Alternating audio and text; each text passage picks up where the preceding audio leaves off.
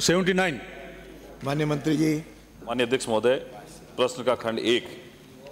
जिला जोधपुर में जनवरी 2019 से 31 मई 2024 तक मुख्यमंत्री कन्यादान योजना विधवा पुत्री विवाह बीपीएल पुत्री विवाह सुख दाम्पत्य जीवन योजना विकलांग विवाह डॉक्टर सविताबेन अंबेडकर अंतर्जातीय विवाह योजना विधवा विवाह उपहार योजना एवं पालनहार योजना हेतु बजट आवंटन की वर्षवार सूचना परिशिष्ट एक पर संलग्न है।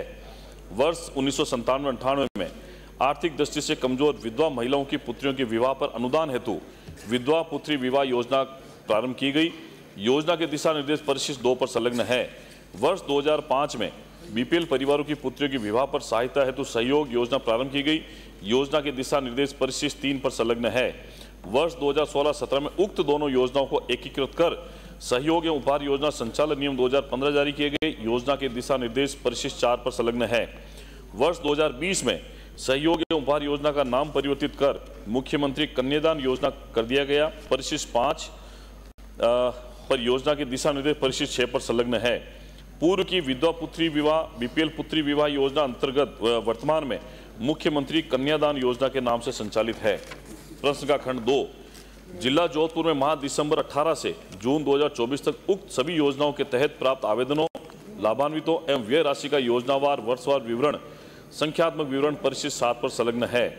खंड तीन उक्त योजनाओं में आवेदन करने वाले वंचित आवेदकों के कारण सहित संख्यात्मक सूची परिशिष्ट साठ पर संलग्न है। मंत्री महोदय। अध्यक्ष महोदय सभी विद्यालय प्रभारी पालनहार कैटेगरी में आने वाले बच्चों के प्रवेश की सूचना एसएसओ कार्यालय में भेजे तो योजना का लाभ शीघ्र मिलेगा। अतः क्या सरकार पालनहार योजना में विधवा दिव्यांग एच ए वाई सीलोकेसिस पीड़ित इत्यादि कैटेगरी के साथ कैंसर जैसी भयानक बीमारी के बच्चों को जोड़ने व विधवा माता के सभी बच्चों को लाभ देने का विचार रखती है स्पष्ट करें। पहला सवाल। मान्य मंत्री जी। माननीय अध्यक्ष महोदय शेरगढ़ से आने वाले माननीय वरिष्ठ साथी बाबू सिंह राठौड़ ने जो सवाल किया है पालनार योजना के संबंध में उसमें मैं निवेदन करना चाहूँगा कि जो जितने भी स्कूलें हैं जो कि शिक्षा विभाग से जुड़ी हुई है स्कूलों से पालनहार योजना के नए लाभार्थियों की शीघ्र सूचना मंगवाने हेतु शिक्षा विभाग द्वारा सभी विद्यालय प्रभारियों के निर्देश हेतु अपने विभाग के द्वारा शिक्षा मंत्रालय और माननीय शिक्षा मंत्री से समन्वय कर आने वाले समय में आवश्यक दिशा निर्देश प्रदान किए जाएँगे ताकि पालनहार में जो यो, योजना से लाभान्वित है उसमें कैंसर जैसी जो गंभीर बीमारी है उसके पीड़ितों को भी इसमें जोड़ा जा सके लाभ दिया जा सके विधवा सब बच्चों को अगला प्रश्न है। नहीं, मेरा एक दूसरा सवाल दूसरा। इसमें वो विधवा के सभी बच्चों के लिए मैंने पूछा था, उसका जवाब आपने दिया नहीं। क्या यह सही है कि मुख्यमंत्री विशेष योग्यजन स्वरोजगार ऋण योजना में ऋण की स्वीकृति संबंधित बैंक द्वारा की जाती है? ई मित्र से ऋण आवेदन विभाग को प्राप्त होता है। वह विभाग वह आवेदन बैंक को ऑफलाइन मोड से भेजता है।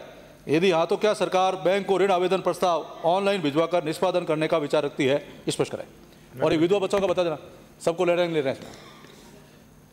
माननीय अध्यक्ष महोदय पालनहार योजना में जैसा माननीय सदस्य बता रहे हैं, कैंसर रोगियों के आश्रित बच्चों को सम्मिलित करने का प्रकरण पहले तो नीतिगत निर्णय से संबंधित है, इसलिए परीक्षण करवाया जाएगा। और दूसरा, विधवा महिलाओं के सभी बच्चों के बारे में बताया, इसके बारे में भी आवश्यक कार्रवाई करके आपको सूचित कर दिया जाएगा। दूसरा, आपने जो बैंक और विभाग के बीच मुख्यमंत्री विशेष स्वरोजगार योजना के तहत, विशेष योग्यजन स्वरोजगार योजना के तहत जो पेंडिंग एप्लीकेशंस आती है, उसका समन्वय कर निस्तारण करेंगे और आवश्यकता होने पर ऑनलाइन पोर्टल के बारे में भी आवश्यक कार्रवाई करने का प्रयास करेंगे। अगला प्रश्न।